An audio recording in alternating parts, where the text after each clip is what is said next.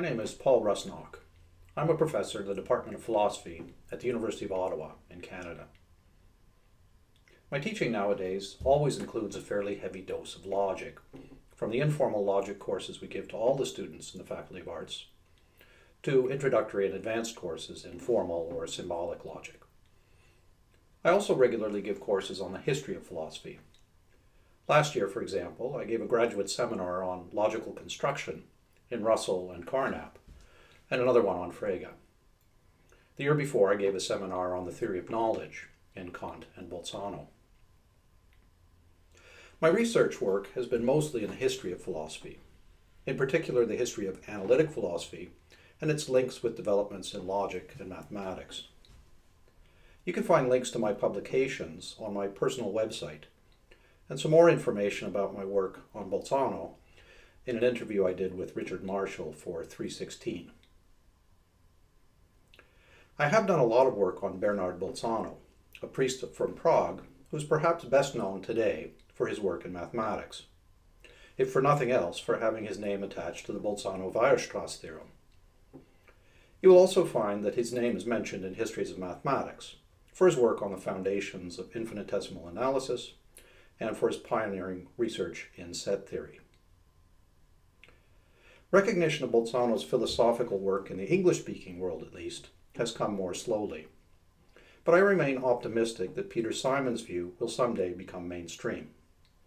He called Bolzano the greatest philosopher of the 19th century, bar none, and added that it's nothing less than a scandal that he and his work are regularly omitted from university courses teaching 19th century philosophy.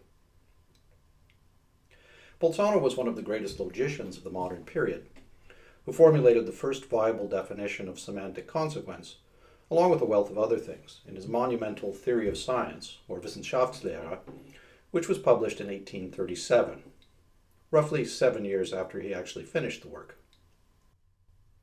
In his own time, Bolzano was best known for his work as a professor of religion at the Charles University in Prague from 1805 to 1819. In this highly visible position, he had become one of the most prominent advocates of social justice and reform in his homeland, Bohemia. He was equally active in pursuit of ecclesiastical reform and wrote of a number of important works on religion in general and on Catholicism in particular. Bolzano was a casualty of the crackdown in the Habsburg lands that followed the Carlsbad decrees. Deemed politically suspect by the Emperor Franz, he was removed from his university chair at the end of 1819 and forbidden to preach, teach, or publish. These bans were relaxed slightly after the emperor's death in 1835. During my doctoral studies at the University of Waterloo, I had the very good fortune to work with Rolf George, the closest thing I can imagine to the Platonic ideal of a doctor Doktorvater. Together, we wrote a number of articles and also produced several translations from Bolzano's writings. The first translation we did together was of a short piece by Bolzano on logic called On the Mathematical Method, along with related selections from Bolzano's correspondence with Franz Exner, who was professor of philosophy in Prague in the 1830s and 40s. Afterwards, we translated a selection of Bolzano's writings on ethics, politics, and religion, including his treatise on the best state, and also a number of beautifully composed and philosophically rich sermons. This was light work compared to what came next, when I somehow managed to strong arm Rolf, who was by then retired, into working on a joint project to translate all four volumes and 2,000 some pages of Bolzano's Wissenschaftslehre expanding his 1972 translation of about a fourth of the work into a complete edition.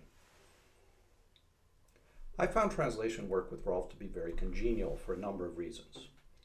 First, he was a highly gifted writer, whose first language was German, but who wrote beautifully in English.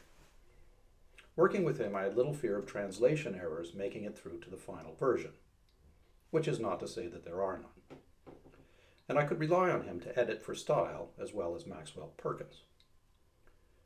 At the same time, by carefully working through every sentence of a work such as Bolzano's Wissenschaftslehre, I gained as close an acquaintance with the text as was possible for me.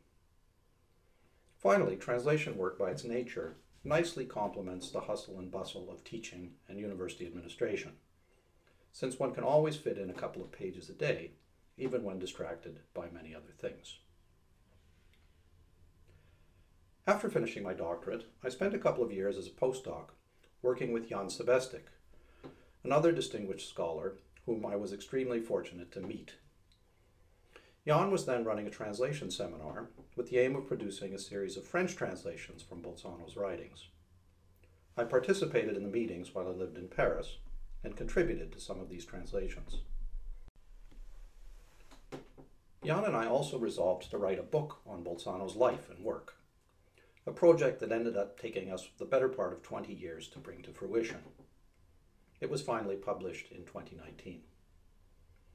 Part of this had to do with our personal circumstances and other commitments, but in large part it was due to the challenge involved in trying to take the measure of such a deep, wide ranging, and prolific thinker. Here's a list of the chapters to give you some idea of the ground we tried to cover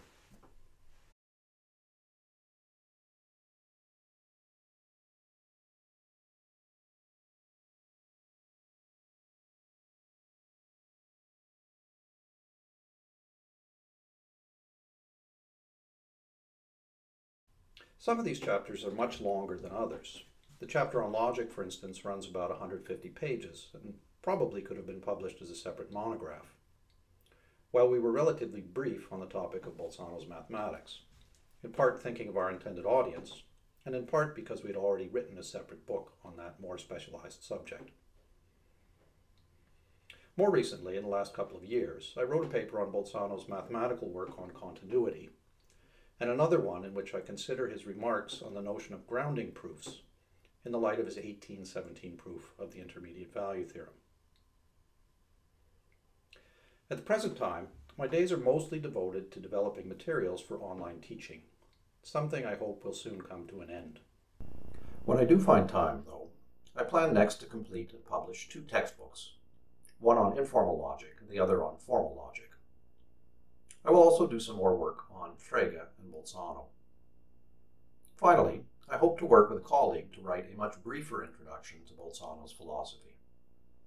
And as always, I'm prepared for the possibility that new projects will suggest themselves. I'm very grateful for the opportunity to give a brief presentation of myself and my work, and I'd like to thank Ursula Moser and Winfried Löffler for their very kind invitation.